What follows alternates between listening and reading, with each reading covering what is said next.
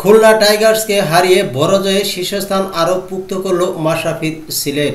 এক নম্বর জায়গাটিতে দখলে আছে বড় জয়ে শীর্ষস্থান আরও পুক্ত করল সিলেট স্ট্রাইকার্স। খুলনা টাইগার্সকে আজ সোমবার একত্রিশ রানে হারিয়েছে মাশরাফি বিন মুর্তজার সিলেট। দশম ম্যাচে এটি আট নম্বর জয় পেল সিলেট। তাদের প্লে অফ বলতে গেলে নিশ্চিত। অন্যদিকে অষ্টম ম্যাচে খুলনার এটি ষষ্ঠ হার।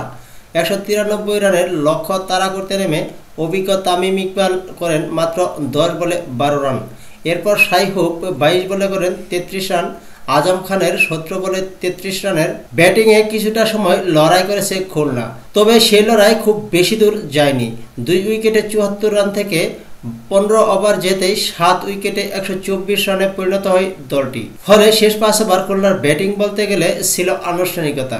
শেষ পর্যন্ত নয় উইকেট হারিয়ে একশো সাতান্ন রান পর্যন্ত যেতে পেরেছিল ইয়াসির আলী রাব্বির দল।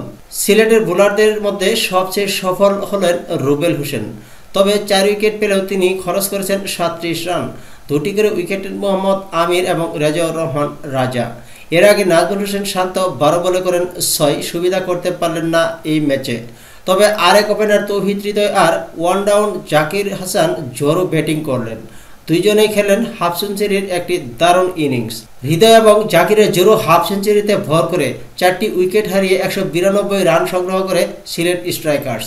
ঘরের মাঠে টসে হেরে ব্যাট করতে নেমেছিল সিলেট।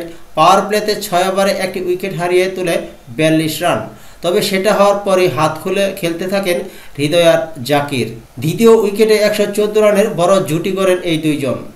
হৃদয় উনপঞ্চাশ বলে নয়টি বাউন্ডারির সাহায্য করেন চুয়াত্তর রান আটটি বলে জাকির করেন তিপ্পান্ন রান।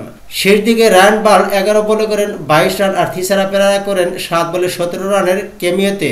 সিলেটকে একশো বিরানব্বই রানের বড় সংগ্রহ এনে দেয়। খুলনার মার্ক দয়াল দুই উইকেট পেলেও চার ওভারে খরচ করেছেন চল্লিশ রান।